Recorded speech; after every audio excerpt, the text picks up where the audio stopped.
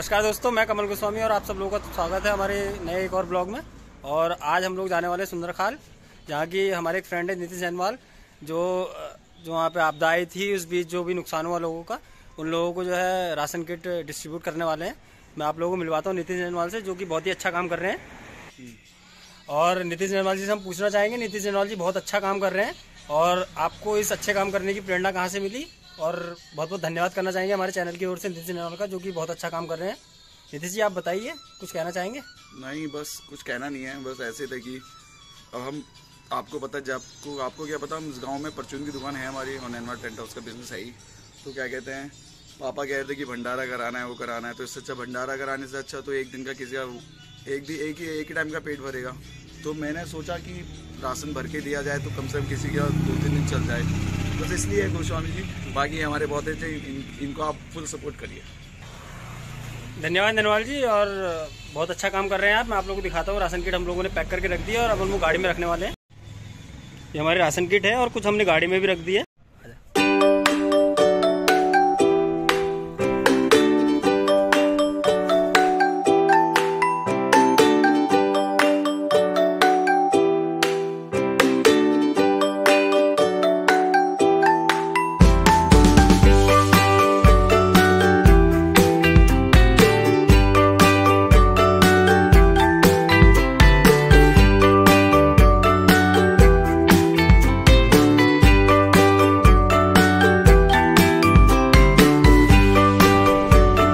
Friend है विवेक कांडपाल, जिन्होंने ये नई विंटेज कार ली है और काफ़ी बढ़िया कार है, काफ़ी मज़ा आया हमको ये कार चला करके और बहुत बढ़िया लगा।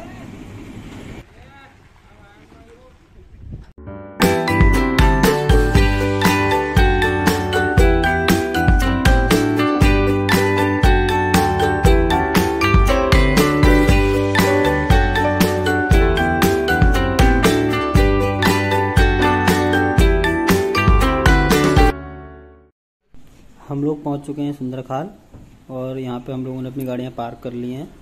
अब हम लोग यहाँ के लोगों से मिलते हैं और उन लोगों से पूछते हैं कि किन किन लोगों को जो है बाढ़ पीड़ित जो लोग हैं, उन लोगों को हमने राशन डिस्ट्रीब्यूट करना है। कृपया उन लोगों को बुला दीजिए।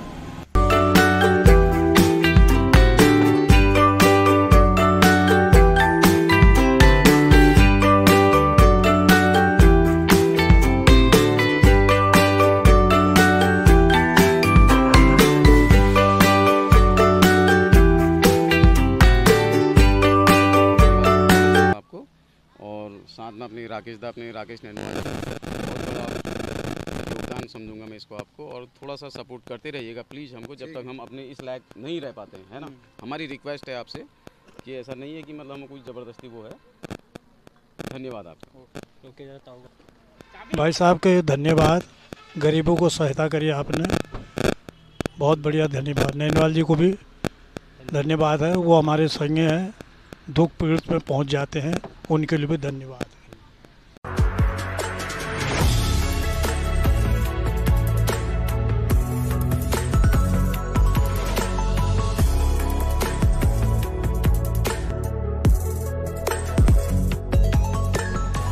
और मेरा आप लोगों से निवेदन है कि जो लोग मदद कर सकते हैं, वो लोग जो है ज़रूरतमंदों की मदद करिए। आप लोग भी जो है नीतीश नैनवाल जी की तरह आगे बढ़ चढ़ के आगे आइए और जिन लोगों को असल में इस मदद की ज़रूरत है, उन लोगों की मदद करिए। बहुत अच्छा काम है, सराहनीय काम किया है नीतीश नैनवाल जी ने और हम लोगों को इनसे प्रेरणा लेनी चाहिए और हम लोगों को भी सबकी हेल्प करनी चाहिए।